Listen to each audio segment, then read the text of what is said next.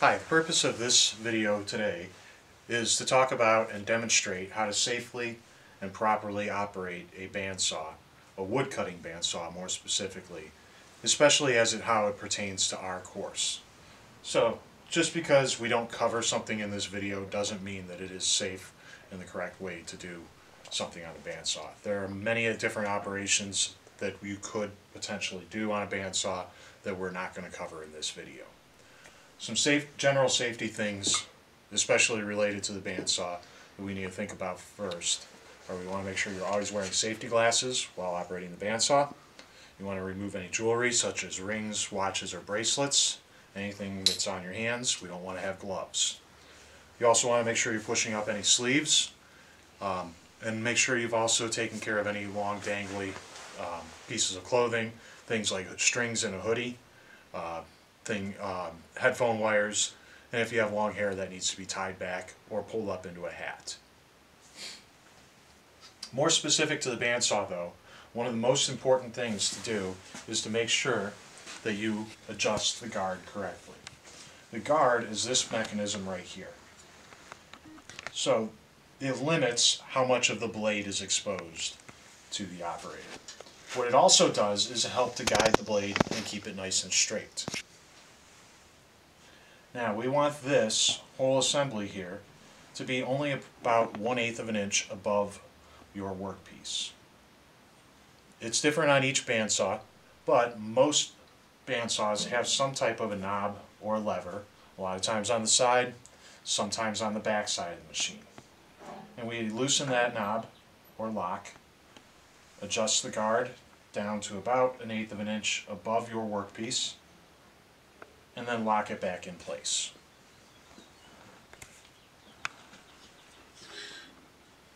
Another very commonly used safety item is something called a push stick. What the push stick allows you to do is to have pressure and control relatively close to the blade. Push sticks are also meant to be cut into. Sometimes you can see little cuts on those push sticks.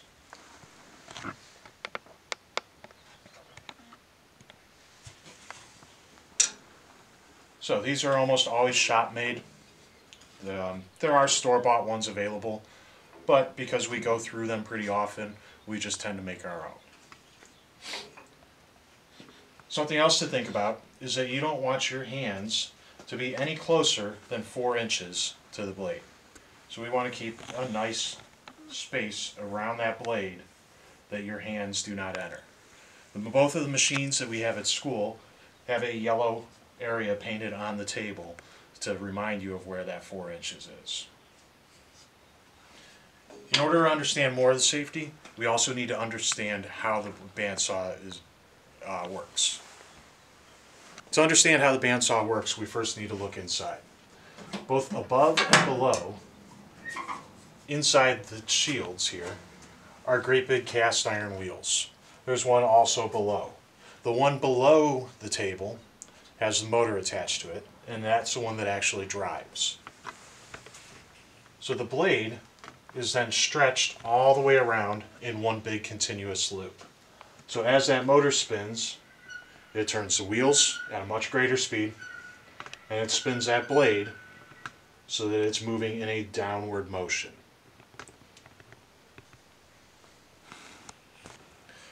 So it's important to understand how that machine actually functions and it works to understand these next couple safety rules. It is very important that as you're cutting, your piece is nice and flat against the table. If not, remember that blade is moving in that downward motion. If you had it elevated when you contacted the blade, it's going to push that piece down against the table and oftentimes pinch your fingers or other objects below it. Also, because that blade is under tension, if it were to happen to break, there is a slight chance that the blade could be thrown out of the machine to either side. So you also want to make sure that as you're observing the uh, bandsaw, you are not standing in this location to the right of the machine. For the purposes of this video though, the camera will be in that position because it is easy to demonstrate from that position. The camera operator will not be in that, behind the camera at that point. The first thing we're cut we're going to demonstrate today is going to be a relatively large curved cut. So on this cut for the demonstration, this is going to be our keeper or our good piece. And then over here is going to be the scrap portion.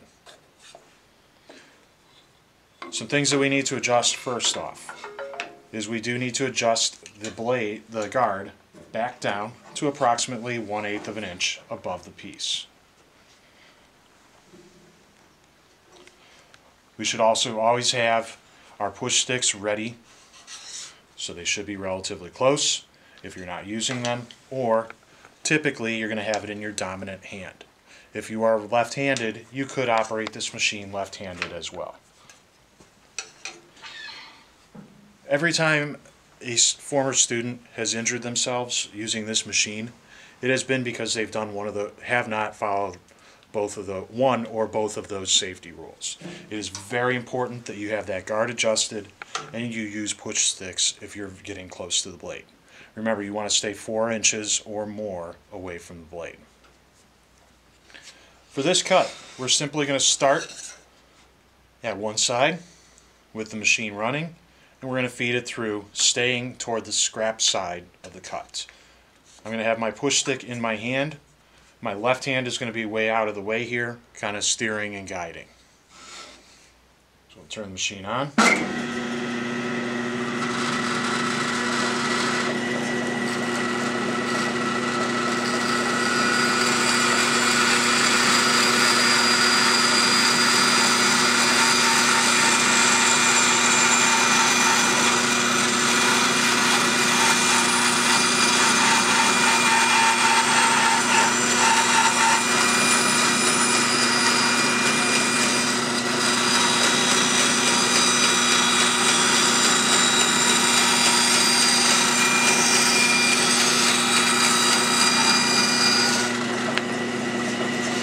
Once we complete the cut, turn the machine off.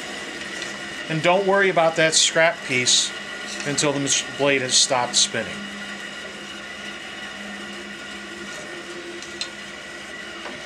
The reason we stay to the scrap side of the cut is inherently the bandsaw does not leave a very smooth cut.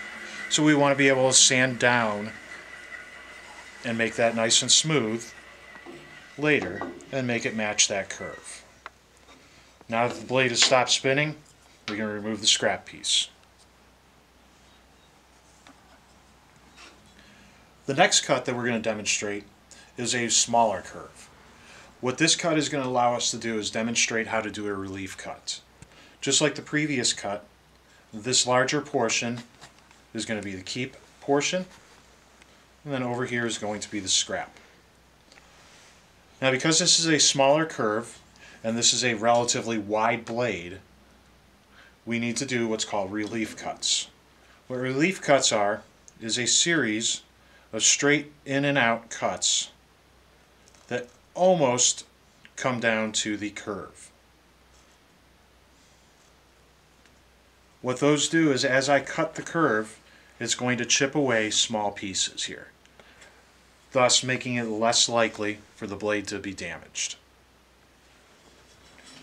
Again, just like your first cut, it is very important that we make sure the guard is adjusted relatively close, about an eighth of an inch away from your piece. Those adjustments are typically done with some type of a nut or a lever, sometimes on the back of the machine as well. Because my hands are going to be relatively close to the blade again, I'm going to pro I am going to be using a push stick in my right hand and steering the piece with my left. The only exception may be my relief cuts because I can have my hands far away from the blade here. So we'll turn the machine on.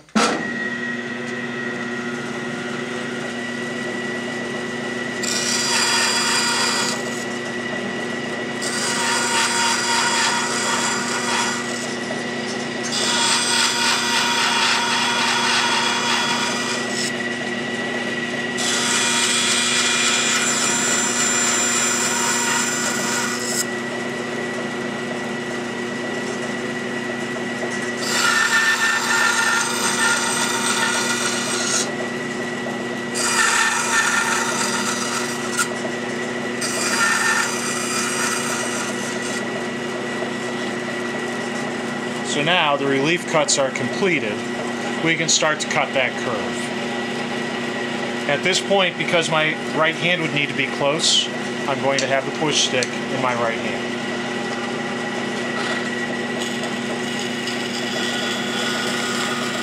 As I cut through, those little pieces are going to chip away.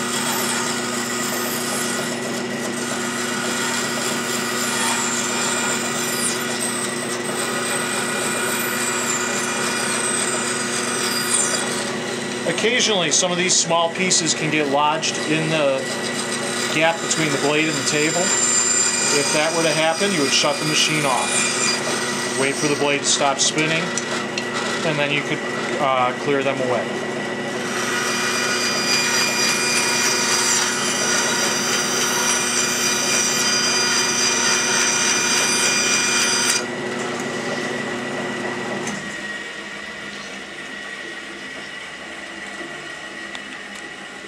So, just like the other cut that we had before, we now have our curve.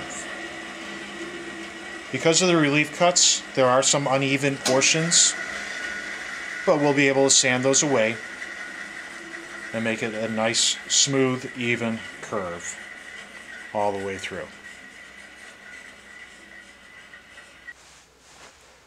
In review, some of the most important safety uh, guidelines for operating the bandsaw for our, the purposes of our course and all courses and operations are first off to make sure that the guard is adjusted correctly. You want it relatively close to your piece, approximately one eighth of an inch away. You also want to have push sticks ready to be used. If your hands need to be any closer than four inches to the blade, you should have a push stick in that hand. It's also very important because the blade moves in that rotational direction, forcing the piece down, that it is always flat against the table rather than elevated, even slightly at an angle. We're of course going to be wearing safety glasses, and you've removed all your rings, watches, and other bracelets. Sleeves should be rolled up. Gloves should not be worn. Uh, also want to make sure you restrain loose clothing, such as hoodie strings and long hair. Uh, later on, we'll go over some of the other operations that can be done on the bandsaw.